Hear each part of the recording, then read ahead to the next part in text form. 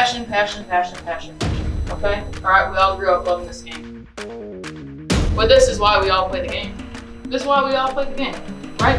So we might as well go out there and play together and have fun and play passion. Okay?